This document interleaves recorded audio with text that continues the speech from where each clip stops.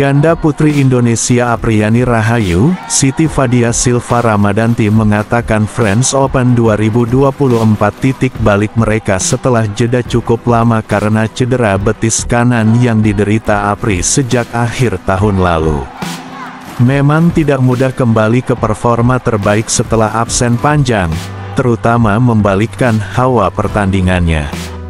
Tapi di sini kami sudah mulai menemukan irama permainan kami, kata Fadia dalam keterangan singkat PPPBSI pada Jumat.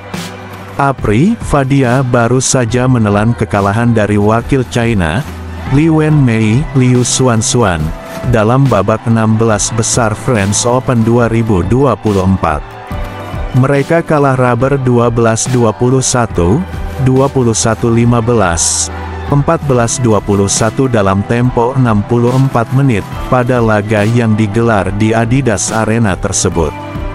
Menurut Apri, salah satu hal penting yang mereka evaluasi dari penampilan mereka pada babak kedua ini adalah konsistensi. Pada game pertama, ganda putri peringkat 9 dunia itu terbawa pola permainan lawan. Namun, pada game kedua, Aprit Fadia mengubah strategi dan berhasil merebut game ini. Sayangnya di game ketiga kami kurang konsisten dengan hal yang kami lakukan di game kedua, malah balik lagi seperti di game pertama. Kami sudah tahu, tapi kurang siap antisipasinya. Itu kesalahan kami hari ini, kata Apri.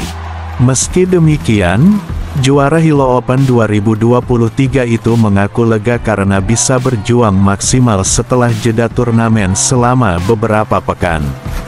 Secara hasil memang belum mendapatkan yang terbaik, tapi saya senang karena saya bisa melepaskan trauma cedera yang kemarin-kemarin, kata Apri. Saya bersyukur dalam dua pertandingan ini hawa pertandingan sudah mulai kembali dan keberanian saya bisa muncul, kata peraih medali emas Olimpiade 2020 Tokyo itu.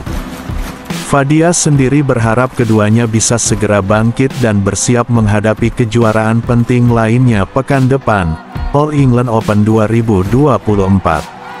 Semoga di All England minggu depan sudah lebih siap, kata Fadia.